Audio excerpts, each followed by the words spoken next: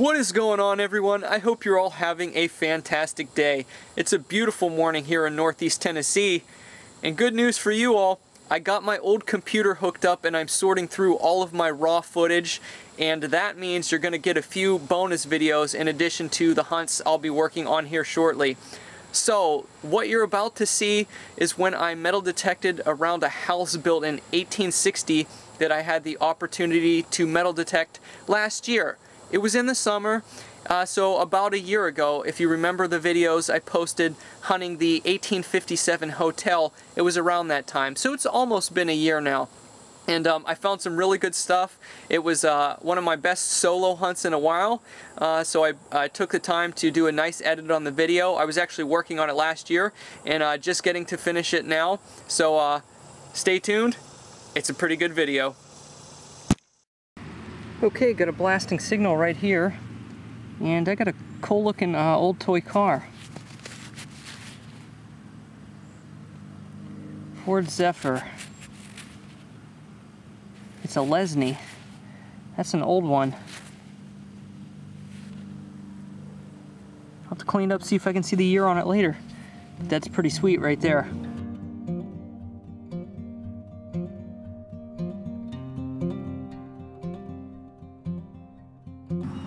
Got my first old coin right by the steps leading up to the walkway, up to the front steps. And got a wheat cent there. Don't know the year, but it was about four inches deep. Um, a minute ago, I found a few other things. I got this, uh, I believe this is a suspender buckle right here. The back of it busted off when I dug it. But I found those before. Those are generally early 1900s there. And a few minutes ago I got this.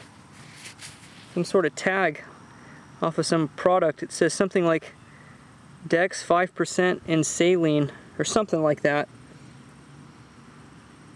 I'll have to clean it up later. But yeah, interesting stuff here for sure. Uh, no shortage of targets. Okay, I'm like two and a half yards away from the house in the front yard, kind of on the side, almost by the side yard. I had a solid 7980 signal. I thought maybe it would be a penny, but here it looks to be about a five to six inch silver coin. And the way it rang up, I hope it's a super old one. That looks really old. What is it? Oh, I think I see the band in the reverse. Looks like it's going to be a Merc.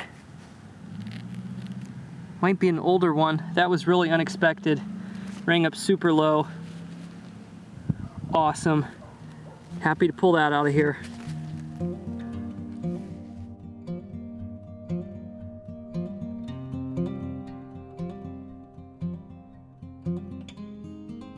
Okay guys, this might be an old coin spill, hopefully an old silver spill.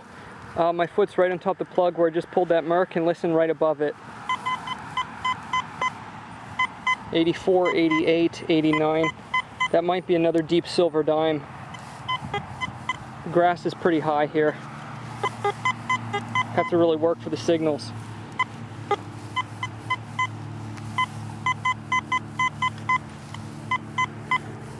There might be another signal too. I almost clip one after it comes to the left.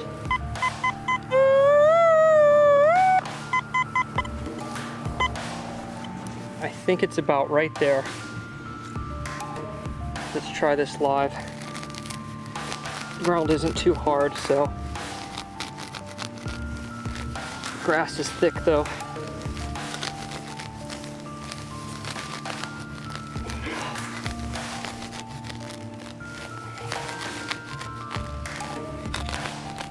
All right, here we go.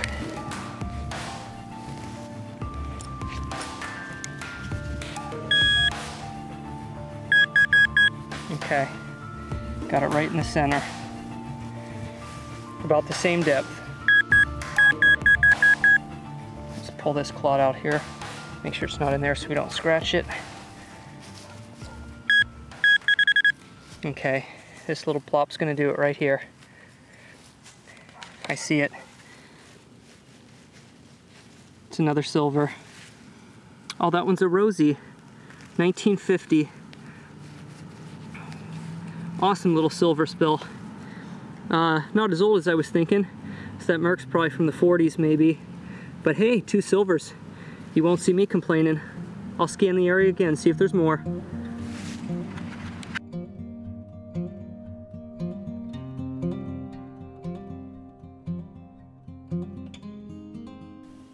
So I'm in my office editing the video and something very interesting just dawned on me.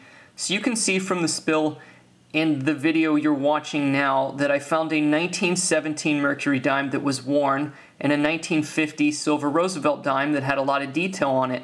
And it got me thinking, I wonder what is the largest gap or age range of silvers that I've found in the same hole. And I counted from 1917 to 1950 and the answer was a 33 year gap. And as soon as I said that to myself, something triggered in my mind. I found the exact spread many years ago. This was back in 2015, and I found a 1919 worn mercury dime in the hole with the 1952 silver Roosevelt dime, both in very similar condition. You can tell since the mercury dime was in circulation for a lot longer, it was extremely worn down and very slick. And um, the only reason I remembered it is because not only do numbers stick with me, but I kind of remembered what I had in the title of the video, and that is in the title, which is why I probably remembered it. So if you want to watch it, I'll link to it uh, below, but it's called 33 Year Silver Gap, or 33 Year Gap Silver Spill, Rare Malaysian Coin, and more. Metal detecting April 28th, 2015. So there it is. I repeated it many years later, so quite odd, but hopefully next time we can widen that gap a little bit and make a new record. Okay, I pulled those two silvers right here. About a yard away, I had another signal that was slightly lower. It's coming in like 85. Uh, I cut my plug already. This could be a penny, but it also could be another silver. So we're gonna finish it live. Trying to save some time here.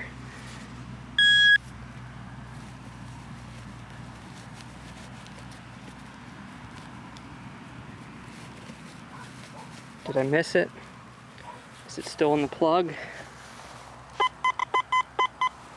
It's ringing up 84 and it's in the plug. More shallow. This could be a modern penny, who knows.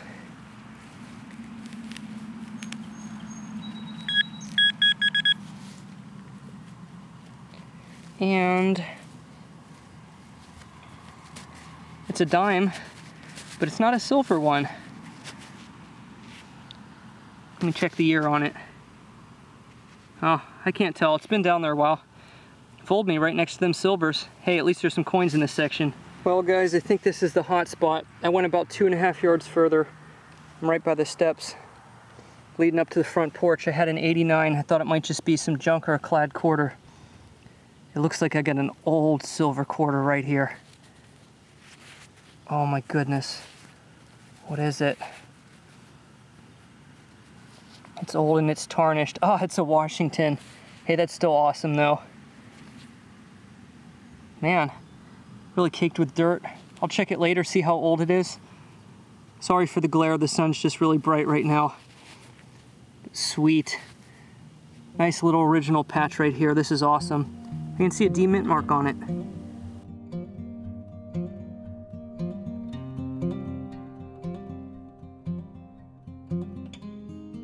Well, I'm glad I dug this crazy thunky signal. I just got me some kind of old fancy. Man, that's crazy. I have no idea what that's off of. It looks very old though. That is cool. Can't wait to get that cleaned up. I just got an awesome find here. Pretty good signal. Haven't found one of these in quite a while. It's uh, either one of the Boy Scout or Cub Scout uh, woggles or neckerchief. There's a lot of different names for these. It's pretty cool. Let's see if I can block the sun there. There we go. Awesome. I was just expecting a penny. That is cool. That's going to look great cleaned up. Just looking over by the driveway now. I got a wheat penny a minute ago and a 1965 copper cent. So uh, might hit some more silver. I'm hoping. But uh, cool relics here too.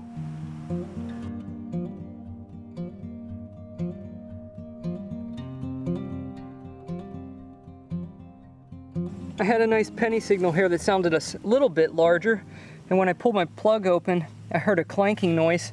I think they fell out of kind of like right in here. But uh, check it out. There is a whole bunch of coins down in my hole. They've got that blue corrosion like they were stuck together. Let turn this way, block the sun. There we go.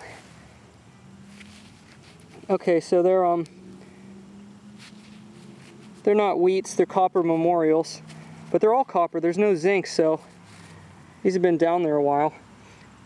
Um, let me see if there's any more. That's four.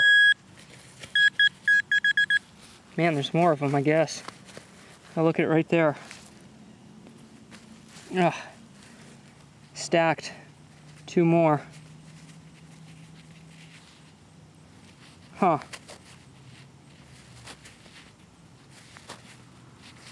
Yeah, they're all, there's no wheat. there's two more. That's crazy.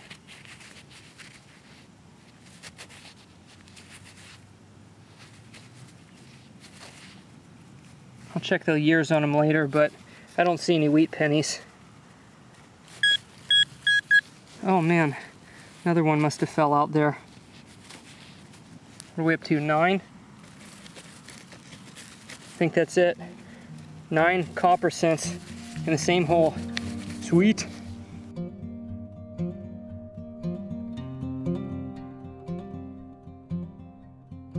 All right, I'm going back through the section where I found all the silver about an hour ago and uh, digging all the thunky tones, absolutely everything.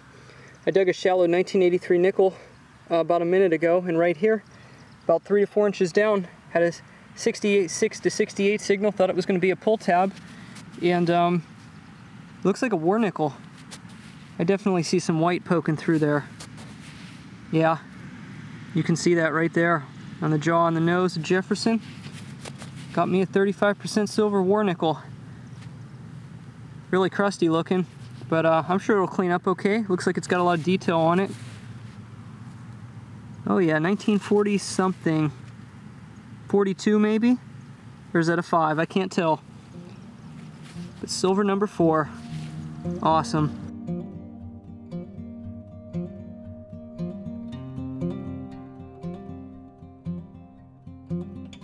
Okay, I'm working on a deep concentrated 78 signal here and I'm right down at it. It seems small with the pinpointer. So in case it's like a Indian head penny or something, we're gonna do it live. This is a coin, it's gonna be one of the deepest ones we've had here.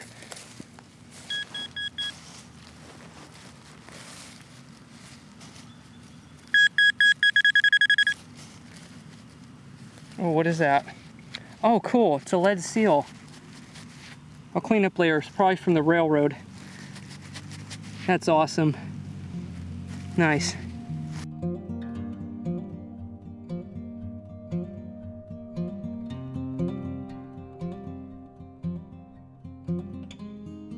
Okay, gonna finish this one live. It's coming in 89.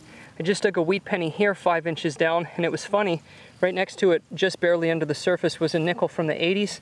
Um, I'm sure they weren't dropped at the same time, just weird they happened to be in the same area.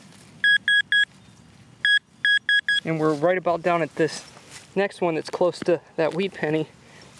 It sounds really good and it's deep. So I'm hoping it's gonna be a silver dime next to that wheat penny. That's what I'm hoping.